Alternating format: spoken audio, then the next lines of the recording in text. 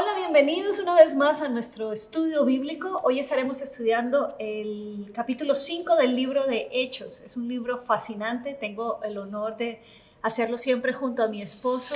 Gracias, amor. Realmente estar aquí compartiendo y también quiero recordarles a todos esos estudiantes que desean tener sus notas, por favor, haz un clic ahí en el chat en vivo. Hay un link que te va a llevar a todas las notas de este estudio bíblico. Así que Vamos a empezar y vamos a pedir al Espíritu Santo que nos guíe porque precisamente Él es el protagonista de este libro y que Él sea dándonos luz de quién es Él y de cómo la iglesia, tanto en el primer siglo como en el siglo actual, debe relacionarse en este trabajo tan espectacular que es poder ser heraldos, poder ser anunciadores de esta buena noticia. Acompáñanos en oración, Señor, te damos gracias por este tiempo. Pedimos, Espíritu Santo, que tú seas dándonos luz y donde quiera que se encuentren las personas que están conectados con nosotros, en el nombre de Jesús yo oro que ese Espíritu Santo de poder sea guiándonos a toda verdad. En el nombre de Jesús, que seas abriendo nuestros ojos,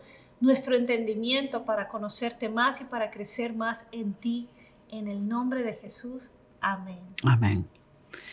Les recuerdo también, por favor, saluden, díganos de dónde nos están siguiendo. Eh, traigan sus Biblias también y, ¿por qué no unas notas por allí, un lapicero y algo donde anotar? Siempre ayuda porque hay cosas muy eh, puntuales que a veces eh, aplican a nuestra vida de una manera mucho más fuerte que lo que podríamos ver en general. Así es que sería bueno que tengas eso por ahí.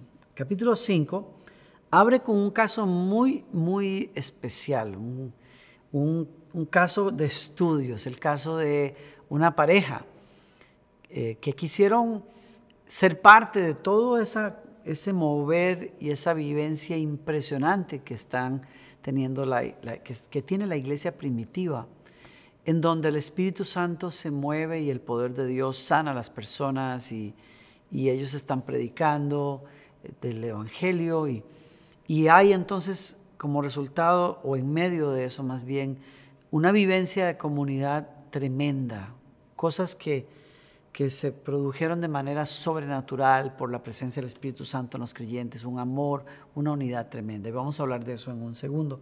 Pero entonces Ananías y Zafira entran eh, como protagonistas o queriendo ser protagonistas también de este mover y de este momento, pero lo hicieron de, de la manera equivocada. Y al, al presentarnos el caso, la escritura, creo que apunta a al tema de la verdad. Y todo este capítulo de alguna manera nos indica, nos invita a, abrazar la verdad. ¿Cómo es que nosotros abrazamos la verdad? No solo la verdad puntual del Evangelio para responderle a ella o para llevar el Evangelio a los demás, o en el caso del concilio, cómo quisieron oponerse a la verdad, eh, sino que también habla de la verdad a nivel íntimo, a nivel personal, cómo yo vivo la verdad y cómo la verdad puede moldear a una comunidad y qué importante y poderoso que es que lo haga.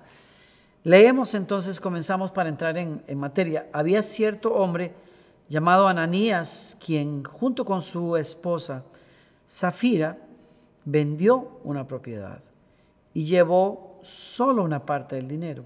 Y ahí hay que subrayar, yo estoy leyendo la nueva traducción viviente, pero eso ya nos da claridad acerca de cuál es el problema aquí. Llevó solo una parte del dinero a los apóstoles, pero, ahí está más claro el problema, pero afirmó que era la suma total de la venta. Con el consentimiento de su esposa, se quedó con el resto.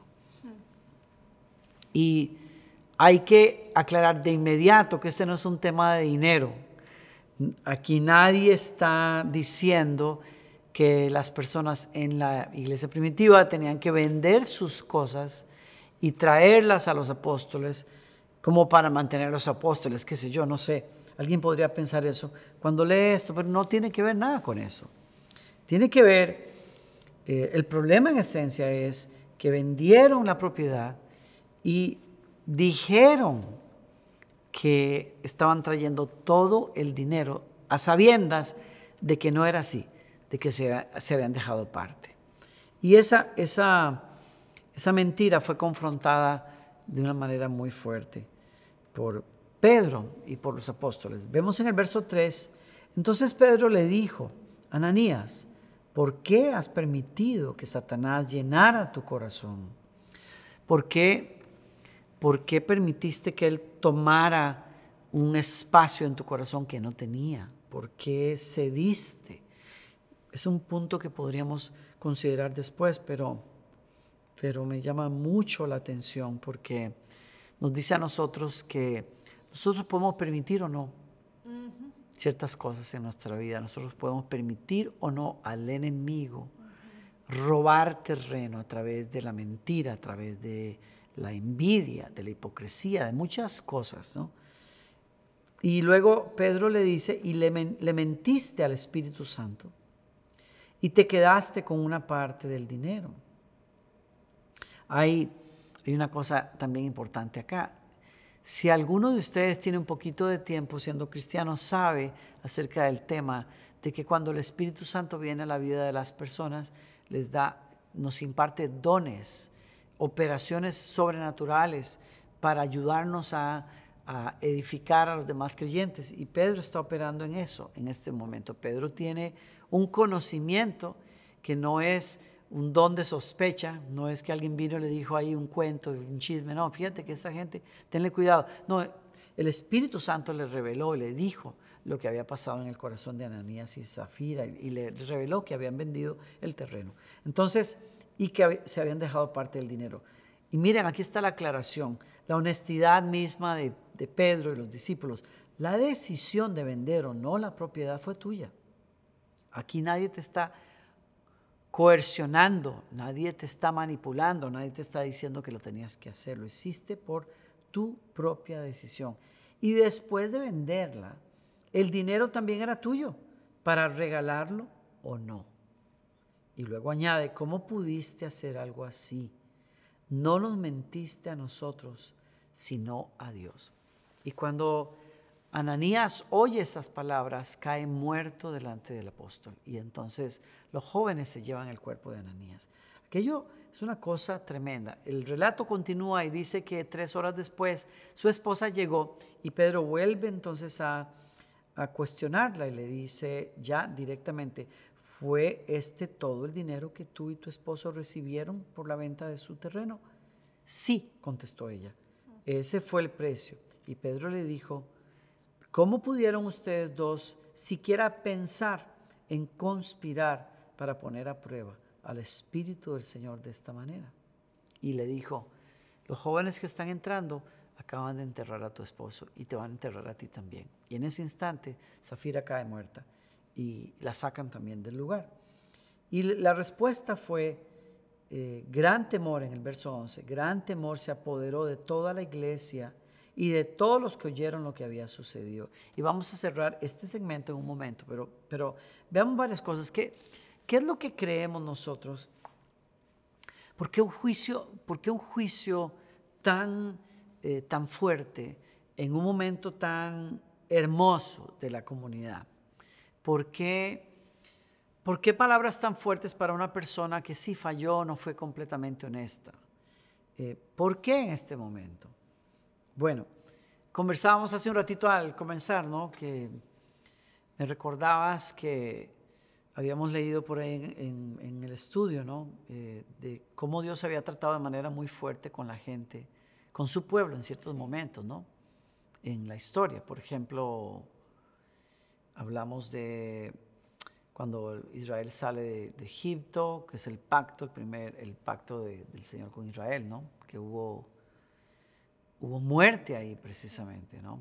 ¿En, qué otro punto? Luego cuando entran a la tierra prometida, una es cuando entran al desierto y vemos el juicio de Dios matando a las personas que no se comprometieron con, con, con, con lo que Dios estaba pactando con su pueblo. Luego entran unas nuevas, nuevas leyes con Josué en el capítulo 7, ustedes pueden ver ahí el caso en donde hay dos personas también que son juzgadas y, y mueren porque están entrando en una nueva etapa también del Señor. Y el Señor quiere que se tome en serio, es lo que hablábamos, ¿no? lo que Él está mandando. Y ahora estamos en una nueva etapa, la, la era de la gracia del Espíritu Santo, pero, pero no podemos confundir, también era algo que hablábamos de la gracia con la, con la alcahuetería del Espíritu Santo, sino que eh, hay gracia y verdad. Siempre, siempre se ha, se ha predicado eso desde el Salmo que, dice es la misericordia y la, la verdad se besan en la cruz y a partir de la cruz es esta nueva era de gracia. Y es lo que estamos viendo aquí. Lo que estamos viendo es una nueva etapa. Pero hay verdad y, esto es como todo el, el centro de este capítulo y a mí me impactaba algo, Danilo, y es que si Jesús está diciendo que el padre de la mentira es Satanás, ahora el Padre de la fe, nuestro Dios, nuestro Señor, es el Padre de la verdad.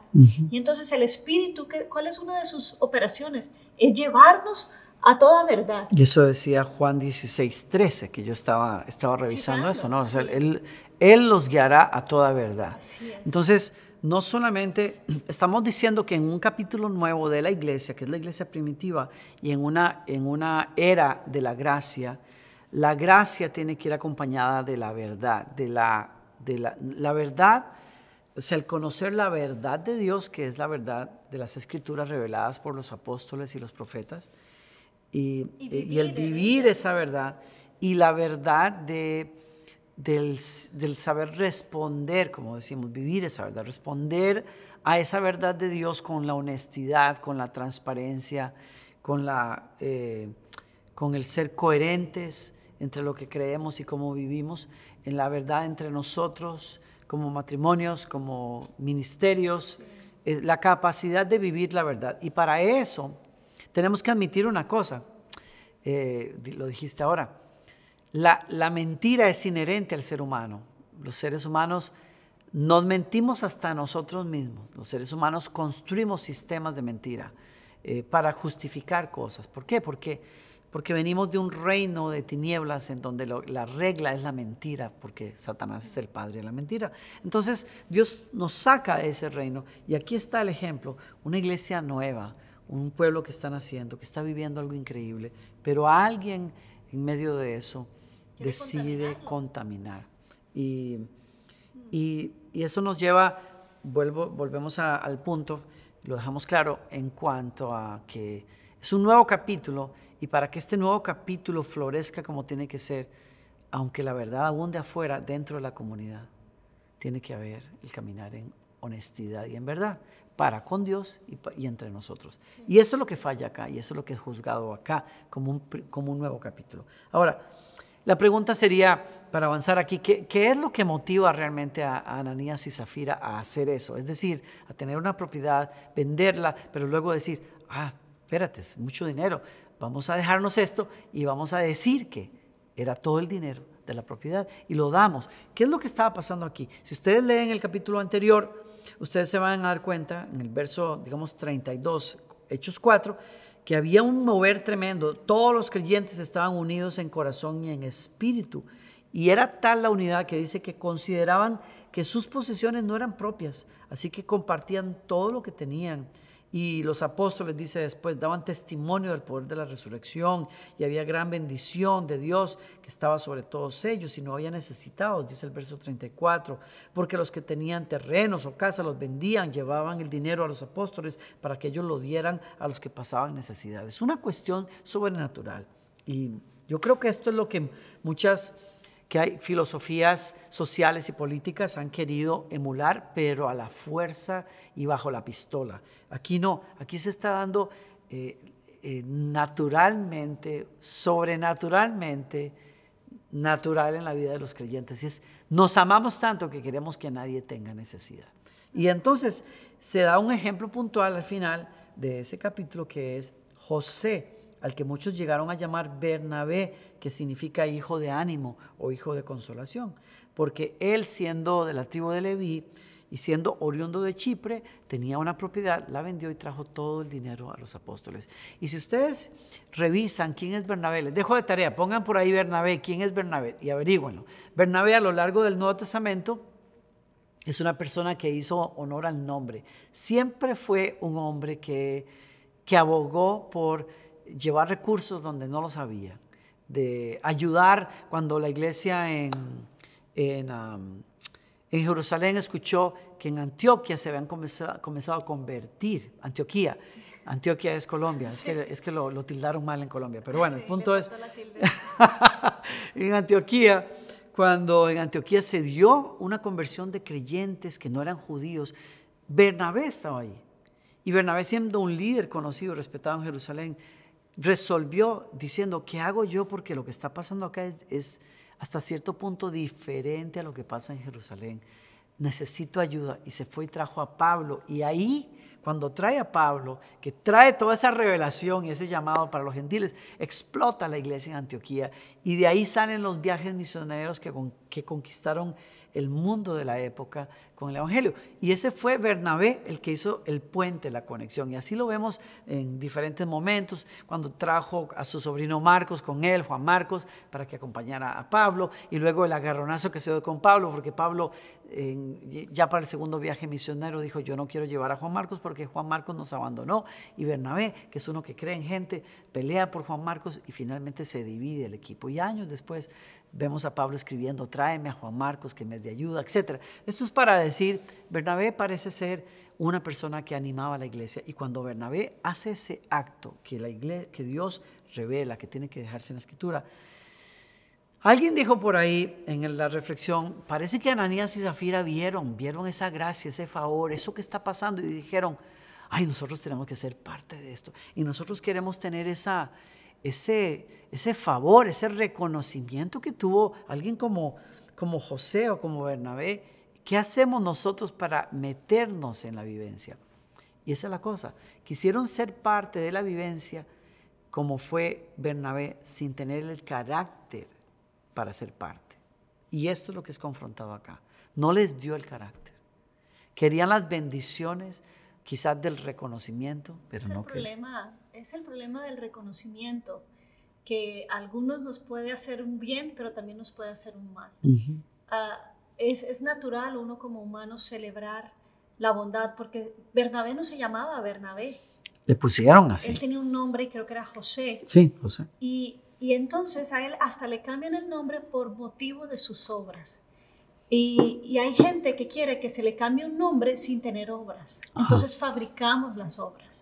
Y yo creo que en el caso de Ananías, dijeron, wow, si este muchacho, eh, qué bonito se ve esto, realmente es algo lindo de anhelar, pero con los motivos o, con o por las métodos equivocados. Los métodos equivocados. Y entonces muchas veces queremos el cambio del nombre sin realmente haber tenido un cambio en el carácter. Así es. Y yo creo que ahí es donde digo que el reconocimiento nos puede a nosotros hacer daño, la búsqueda por el reconocimiento que obviamente es bueno, pero cuando no es genuino, eh, nos hace un gran daño. Y, y apuntaste a ese, nos mata, es la cosa. Y, nos, nos, ah, nos hace realmente desconectarnos de las personas que valen la pena, porque cuando uno vive para las apariencias y para, para presumir o para aparentar, uno realmente deja de conectarse de corazón a corazón con la gente, que es importante. Qué importante eso para una comunidad cristiana, qué importante para nuestro hogar, qué importante para las relaciones que son personales, la, capacidad de ser honestos, de ser nosotros, de permitirle a Dios y lo, eh, cambiarnos para desarrollar ese carácter. Y entonces, creo que eso me lleva a este punto y, vamos a avanzar en el capítulo, y es, Pedro hace unas... Eh, viene con unas frases en donde dice, ¿cómo le permitieron ustedes a Satanás llenar el corazón? Y luego, ¿cómo le mentiste al Espíritu Santo? Y luego a Ananías, a Zafira le dice, ¿cómo ustedes pudieron conspirar para poner a prueba al Espíritu del Señor de esa manera? O sea que hubo, hubo realmente un, un proceso de pensamiento en donde Ananías y Zafira, eh, no sé qué pienses tú, pero me dices, cuando Pedro confronta a Ananías y Zafira y les dice, ¿cómo ustedes pudieron conspirar para tentar al Espíritu Santo y mentirle al Espíritu Santo? Yo creo que Pedro no se estaba refiriendo solo a mentirle en público delante del apóstol, diciendo, esto es todo el dinero. Yo creo que Pedro estaba apuntando a un pecado más grande, que es cómo le, le mintieron ustedes al Espíritu Santo que estaba en ustedes y que les tuvo que haber dicho, oigan, eso está mal, eso es mentira, Eso no se puede hacer. Oigan, ¿por qué tienen esos celos o, esas envidias por José o por Bernabé? Nada, sean honestos, hagan lo que ustedes tienen que hacer. Yo, mi, mi conclusión cuando leo esto es, Gloriana, que, que definitivamente nosotros no podemos vivir la vida cristiana si no es con la ayuda del Espíritu Santo, como ya leí, porque Él es el Espíritu de verdad. Y todos los días y en sin fines de ocasiones el Espíritu Santo nos va a decir, esto es lo que Dios quiere, esto está bien, esto no está bien, oye, ojo, cuidado con esto, etc. Y nos corrige. Pero la confrontación de Pedro es tan fuerte porque él llega a decir, o sea, ¿cómo, lo, cómo pudiste mentirle tanto al Espíritu Santo en tu propia vida como para venir a tratar de mentirle aquí? Sí. Y yo creo que eso es a mí me, me sacude tremendamente. ¿no? Porque... una de las cosas, perdón, que, que, a mí me sacude también en el texto es que hubo un acuerdo con alguien y qué importante es cuando el, el ser un esposo que pueda de alguna manera traer luz y decir, ¿estás seguro que, aunque no va a decir, oye, eres un mentiroso, pero o sea, la propuesta era tan buena para los dos, fue, fue una tentación para los dos. fue lo mismo que pasó con Adán y Eva. Exacto fue una tentación a los dos. Pero qué importante, como dice el, la Biblia, que dice que qué importante es caminar con alguien que cuando uno caiga el otro le levante, no que los dos se vayan, de, cabeza.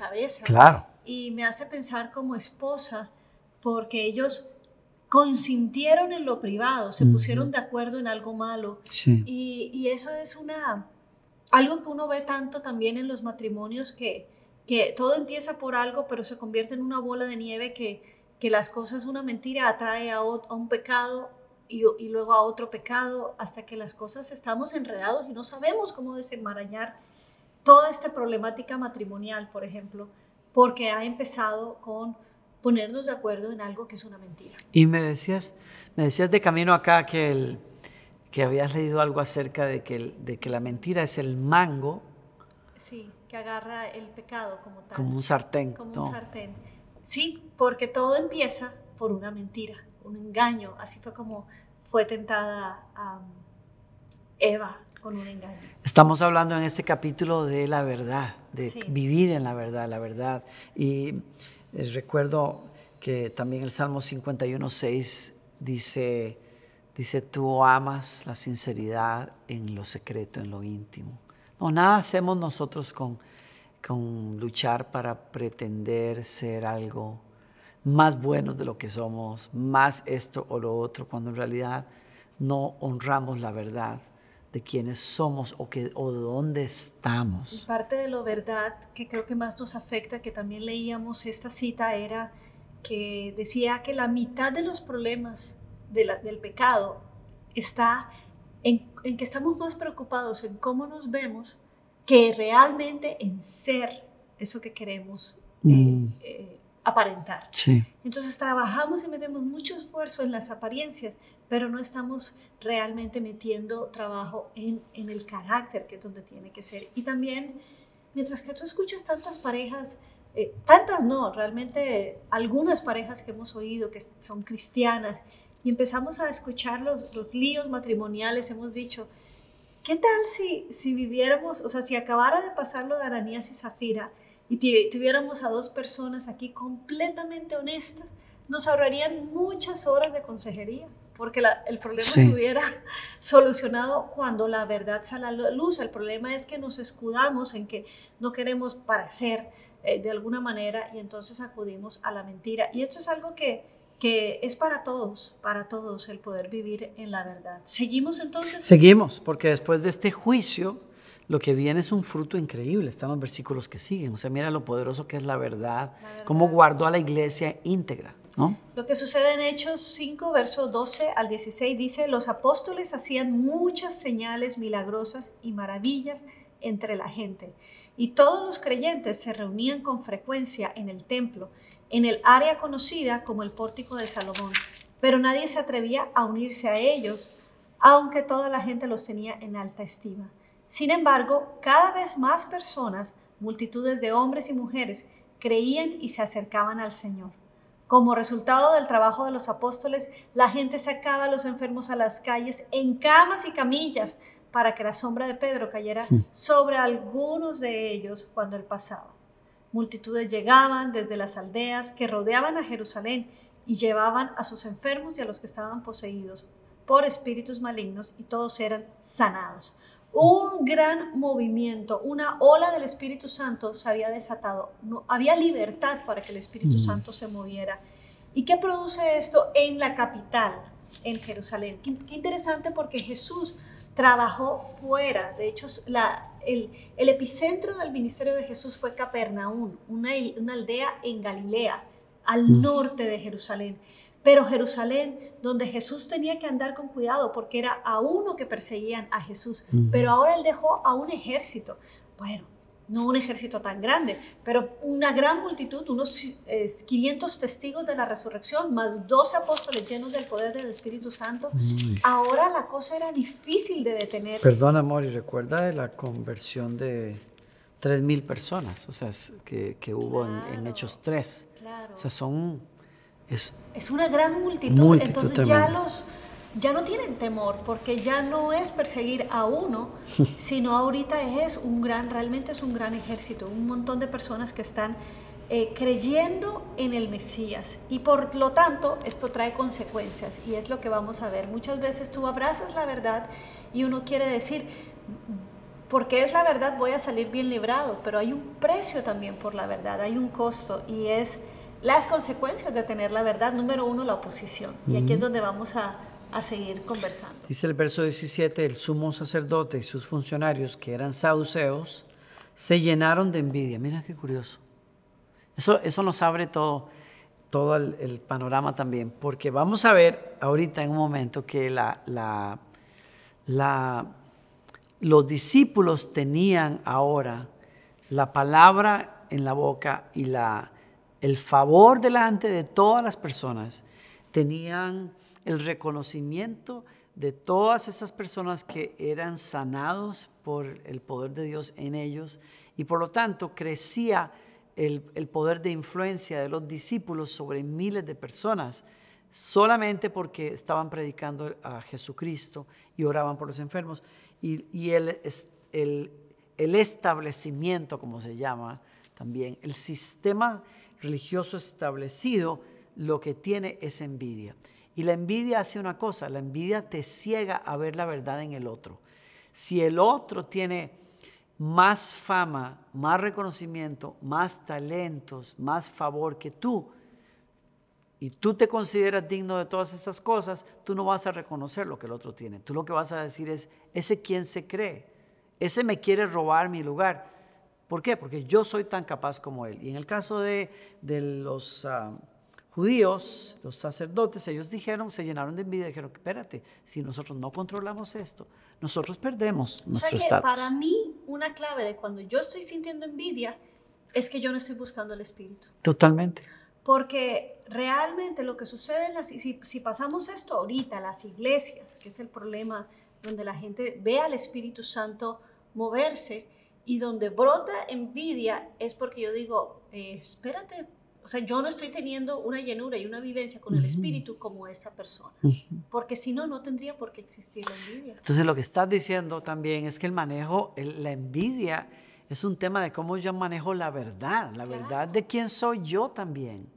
Y quién es la otra persona y quién es mi hermano. O sea, uno puede decir, como tú dices, uno puede decir, ay, yo estoy buscando de Dios y qué sé yo. Sí, pero realmente si te ahoga la envidia, no, estás aceptando. Es, que no hablamos el trato de envidia entre los apóstoles. Vemos que hay un don en Pedro superior a los apóstoles, sí. pero no vemos que tienen envidia con Pedro. Ahí el tema no, porque todos están metidos en el Espíritu.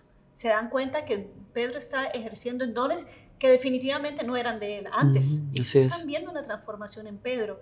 Pero la envidia está en los, en los fariseos y saduceos, que es el concilio que los quiere acabar, porque ellos no están teniendo la vivencia. De la vivencia. Entonces a mí esto me abre los ojos porque realmente cuando hay estos sentimientos tengo que preguntar, ¿qué es lo que, qué es lo que está pasando? y, y eh, yo te, conversábamos de camino también que es que una de las cosas más difíciles para manejar en la vida, y estamos hablando de cosas más a nivel de iglesia y de ministerio, qué difícil es cuando una, un grupo, una iglesia vive una etapa nueva de, renovación, de frescura, de intensidad, yo, no sé, de fruto, y, y, te hace sentir a ti que estuviste ahí muchos años, que no eres parte de eso nuevo. Sí.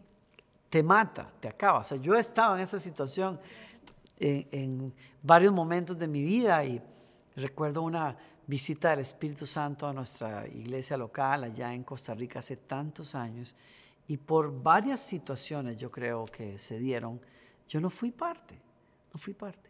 Y las personas que estuvieron conmigo a veces cantando atrás y músicos y tal, mi, pianista de, en esos años, Godofredo, yo siempre dije, le dije a Godofredo, Godofredo fue la única persona que quedó en plataforma cuando este mover se preparaba. El pastor sintió, no quiero música, no quiero, quiero eh, solamente un pianista.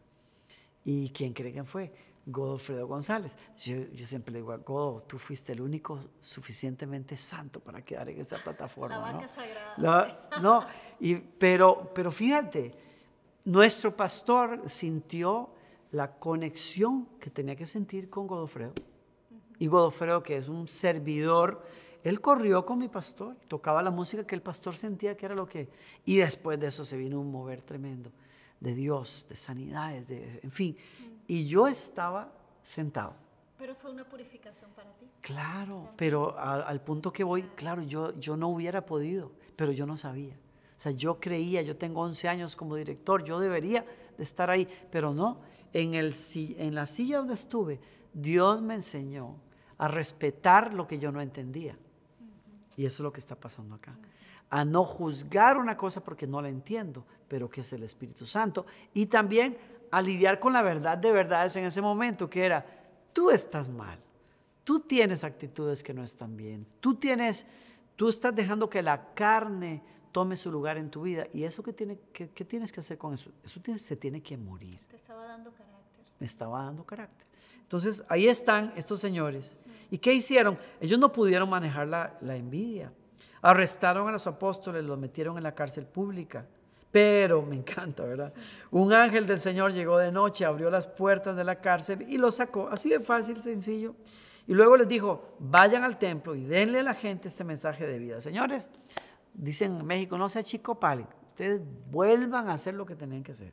Y al amanecer los apóstoles entraron en el templo como se les había dicho y comenzaron a enseñar de inmediato. Y entonces los funcionarios del templo Convocaron al concilio, dice, y a toda la asamblea de ancianos de Israel y mandaron, mandaron supuestamente en la mañana a sacar a los apóstoles de la cárcel y llegaron diciendo, pero todo está cerrado, como si nada hubiera pasado, solo que ellos no están allí. ¿Qué fue lo que pasó? Y otro vino, no, que están predicando otra vez allá.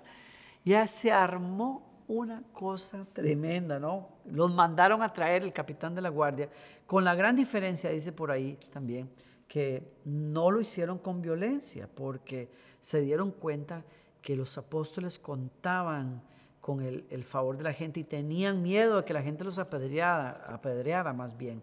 Entonces los llevaron al concilio y entonces en el verso 28 volvieron a insistir.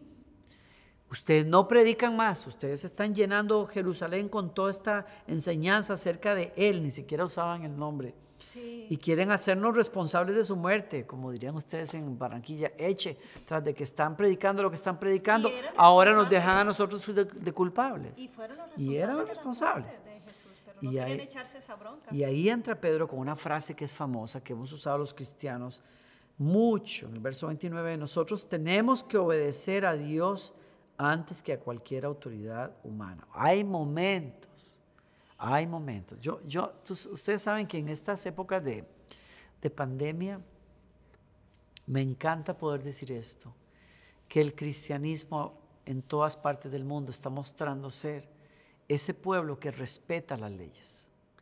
Las, y, que no, no se reúnen o nos reunimos en grupos pequeños con la, el número de gente este, que se permite, que, que en mi opinión en algunos países es ridículo todavía lo que se está haciendo porque eh, edificios que contienen suficiente capacidad como para que la gente se siente distanciada, los, nuestros gobiernos no lo permiten todavía. A mí me parece eh, una falta de respeto hacia lo que es la iglesia y a lo que, al beneficio que es la iglesia. Pero la iglesia se ha sometido.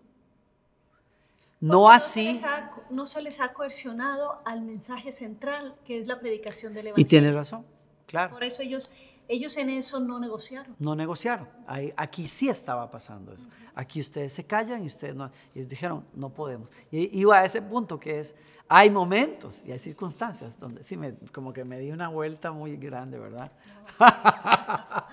y entonces, y y hay momentos y tenemos que saber leer esos momentos donde nos toca hacer esto que hizo Pedro. Y entonces Pedro predica y vuelve a decirle, el Dios de nuestros antepasados no es otro Dios, es el Dios que ustedes dicen adorar. Levantó a Jesús de los muertos, al que ustedes mataron colgándolo en la cruz, pero Dios le dio un lugar de honor a su derecha como príncipe y salvador. Y lo hizo para que el pueblo de Israel se arrepintiera de sus pecados y fuera perdonado. nosotros somos testigos de estas cosas. O sea, nosotros estamos defendiendo la verdad que sabemos.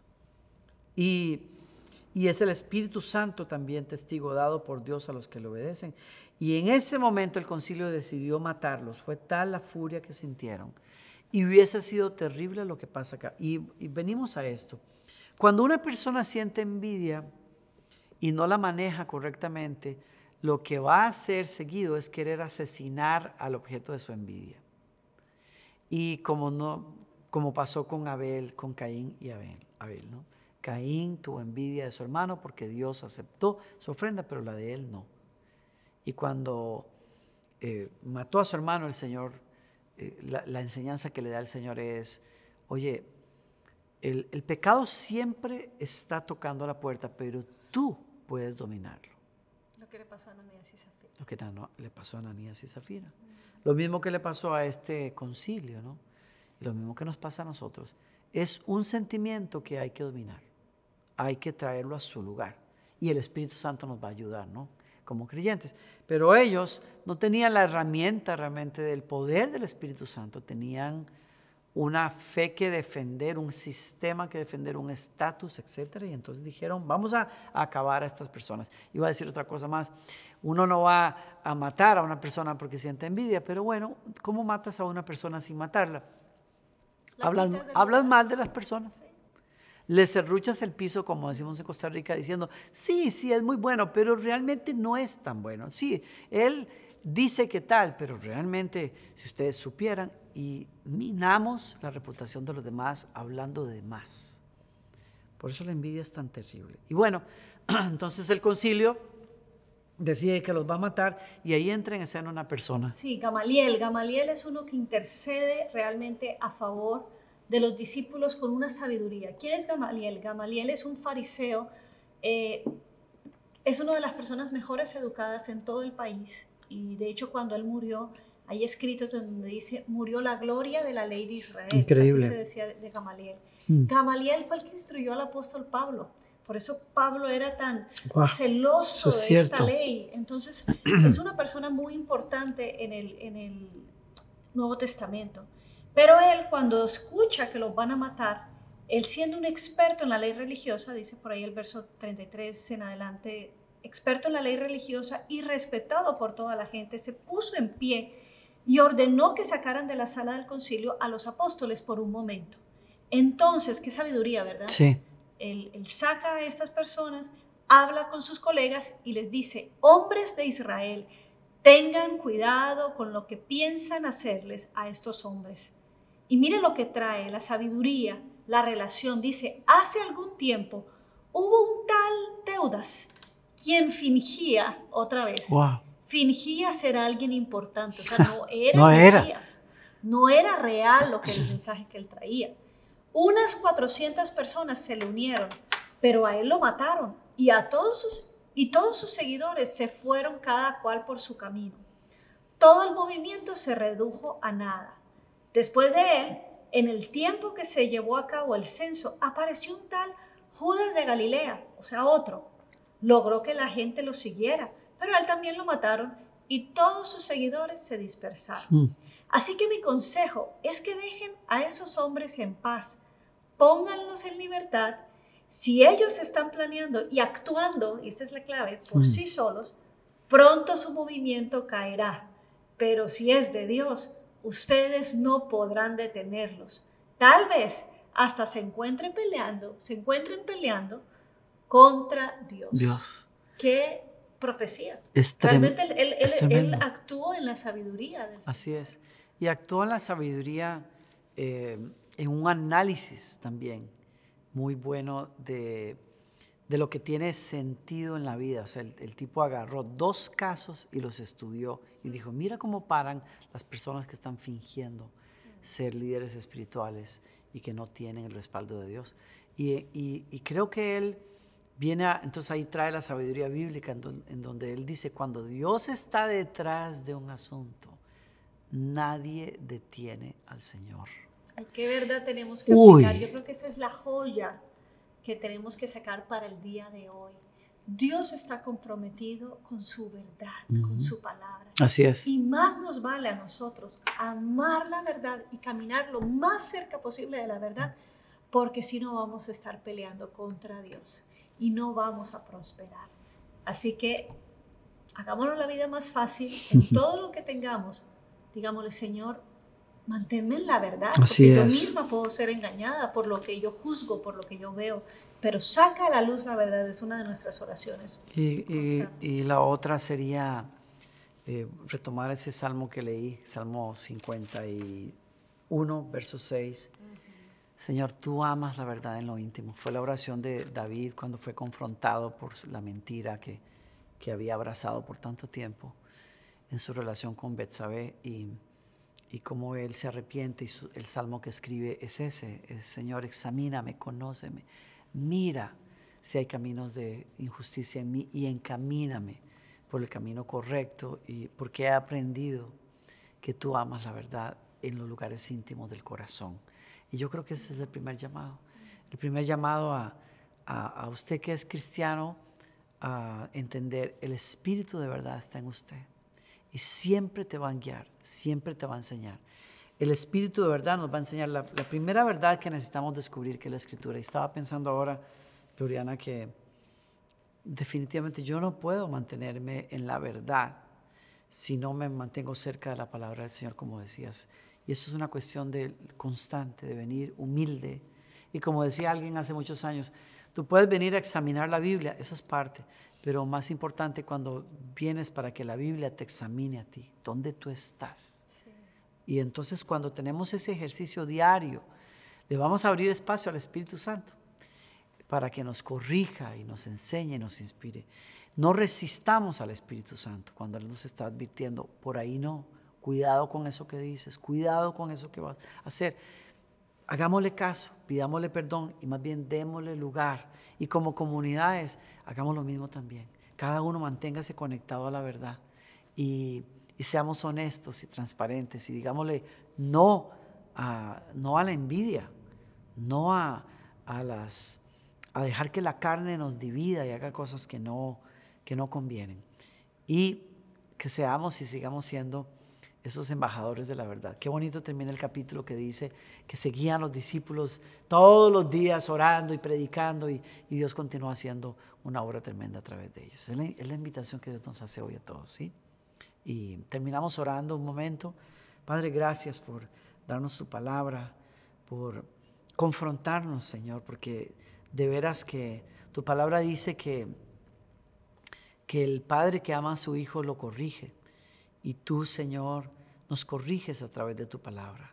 Y hoy te decimos, Señor, como dice el Salmo, Señor, examínanos y conócenos. Mira si en nosotros hay caminos, Señor, de injusticia. Y vuélvenos, Señor, al camino de la verdad. Espíritu de Dios, sé nuestra luz, nuestro guía y enséñanos a amar la verdad, la verdad revelada de Dios y la verdad que tú dices acerca de nosotros también cada día. Gracias por eso en el nombre de Jesús. Amén. Amén. Gracias por estar con nosotros. Nos vemos la próxima vez.